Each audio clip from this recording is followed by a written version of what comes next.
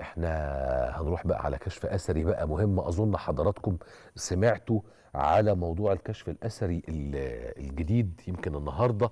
اتكلمنا عنه يعني أو لقيت كل المواقع قاعدة بتتكلم عنه ده كان شيء بالنسبة لي رائع جدا. كشف أثري جديد لمجموعة من المقابر خد بالك بقى في تل آثار الدير في مدينة دمياط الجديدة. كل حتة في البلد دي بتنطق تاريخ سبحان الله العظيم. كل حتة في البلد دي هتلاقي فيها آثار. ده بالمناسبة جانب من ما تم كشفه أو تم اكتشافه إذا صح الكلام يعني النهارده في دمياط الجديدة. دي دي بقى بتعود إلى أنهي عصر بقى أنهي عصر والحاجات الجميلة دي؟ لازم هنا بقى نسأل دكتور قطب فوزي قطب رئيس الإدارة المركزية بالآثار الوجه البحري وسينا والساحل الشمالي. أهلا بيك يا دكتور. أهلا بحضرتك أستاذ يوسف. مبروك يا دكتور. الله يبارك في حضرتك.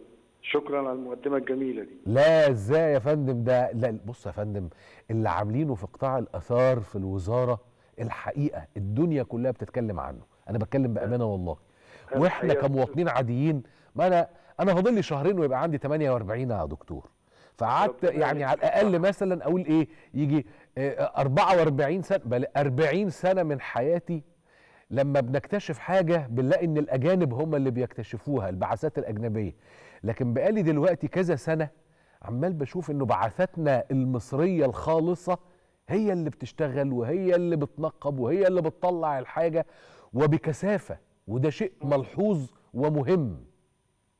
آه الحقيقة إنه حضرتك آه آه، أصبت في الحتة دي والفضل يرجع لل- للاستاذ الدكتور مصطفى وزيري. الأمين العام لمجلس اعلى الاثار لأنه دايما دلوقتي مركز معانا جدا مع البعثات المصرية وبيوليها آه، من متابعات و آه، بي- دايما مادد إيد العون للاثري ان هو اللي يشتغل والمرمم المصري هو اللي يشتغل. صح. البعثات بعثات مصرية خالصة. آه. ابتداء من. رفع الموقع وحتى التصوير والتوثيق في داخل الموقع. ودي حاجة جميلة بصراحة آه، ويعني بعض الب- البعثات تفوقت على البعثات الأجنبية الحقيقة. والله تتفوق ونص. يعني أنا فاكر مرة كنت بتكلم مع دكتور مصطفى وزيري عن إن بنتي عاوزة تدرس آه، علم المصريات. فبقول له وتشوف يعني أنهي بلد الواحد ممكن يبعت فيها البنت وأنا رأيي إنها تروح فرنسا يا دكتور باعتبارهم هم اللي اخترعوا العلم ده. فضحك بطريقته المعروفة. قال لي آه،. ليه؟ هو في حاجة اسمها Francology ده اسمه Egyptology. هتخش آثار هنا. قلت له خلاص أمين. ختمنا اعتمدنا. بيجوا الأجانب يعني يدرسوا عندنا الشغل بتاعنا. بيجوا الاجانب صحيح. يدرسوا علم المصريات. طبعا ما هو يعني هيدرس العلم ما هو لازم هيجي. من هناك على هنا علشان يكمل دراسة. سواء إذا كانوا جايين من فرنسا ولا جايين من جامعة شيكاغو باعتبارها واحدة من الجامعات المهمة في هذا العلم. هرجع بقى على الكشف الجديد ده. الكشف ده الج- الجديد من أي عصر وأهميته يعني تصل إلى أي مدى؟ آه، الحقيقة إنه الكشف ده كشف مميز. مش هنقول ان هو فريد لكن هو مميز من حيث إنه آه، الكشف ده آه، هو عبارة عن مقابر من الطوب اللبن ومقابر أخرى معمولة بالحفر البسيط. لكن ده بيرجع آه، تحديدا آه، الملامح الأساسية والسمات الفنية بتاعته والتخطيط المعماري والأواني الفخ- الفخارية اللي طلعت بتقول إنه آه، دي سمات بترجع للعصر بتاع الأسرة 26 العصر الصاوي والأميز أكتر إنه في تتابع عندنا في في الطبقات إحنا من الأقدم للأحدث بنبدأ من أسرة 26 والعصر ال- اليوناني العصر البطلمي والعصر اليوناني والعصر الروماني وانتهاء بالعصر البيزنطي. فتتابع آه، رائع في الموقع وموقع ثري جدا وأهميته هتعيد تاريخ المنطقة تاني تعيد تاريخ منطقة محافظة دمياط الجديدة أو محافظة دمياط. هو كده بقينا عندنا آه آه إتاحة لفرصة كبيرة جدا للدارسين بإنهم يعملوا دراسات مقارنة آه للحقبة التاريخية نفسها اللي موجودة دي ابتداء من عصر الأسرة 26 وانتهاء بالعصر البيزنطي. منهى العذب جدا وفتح المجال العلمي لدراسة المكتشفات الموجودة حاليا.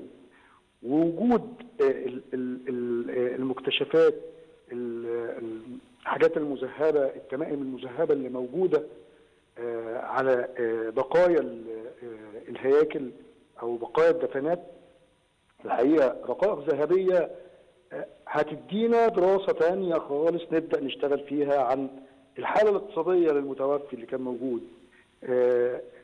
حاجة جميلة قوي إنه أنا ألاقي معدن نفيس من الذهب.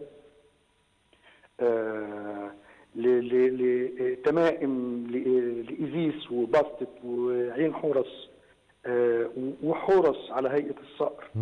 آه، التمائم اللي هم كانوا بيستخدموها كحماية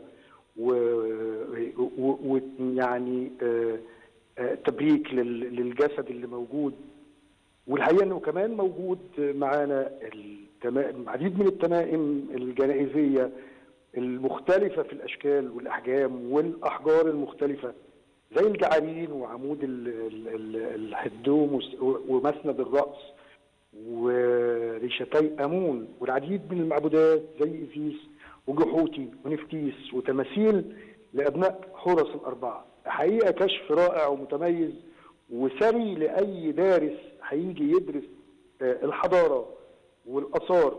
ويدرس الجانب الاجتماعي للمكتشفات اللي لل- الهياكل العظام اللي هندرسها وهندرس آه، الجانب الصحي هندرس فيها الجانب الاجتماعي من حيث الحالة الاقتصادية اللي كانت موجودة في العصر ده آه، آه، ثراء جميل قوي في الناحية العلمية.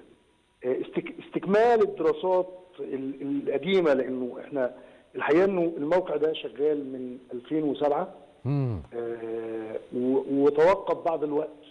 وإحنا بنستكمل اكتشاف فيه. ف آه، آه، تل الدير ثري جدا باكتشافاته وما زلنا ويمكن آه، الفترة اللي جاية كمان هيبقى في استكمال للاكتشافات دي وإن شاء الله ربنا هيكمل جهودنا بنجاح بإذن الله. ودعواتك ودعم حضرتك يا رب. من الحاجات دي اصلها بتفرحني كده اولا تشعرني بالفخر دايما وأنا من الراجل من أنا راجل من الناس يعني اللي عندهم فخر شديد شديد بالعميق متأصل بالحضارة بتاعتنا فالمزيد بقى من الكشوفات وبالذات في منطقة الساحل الش...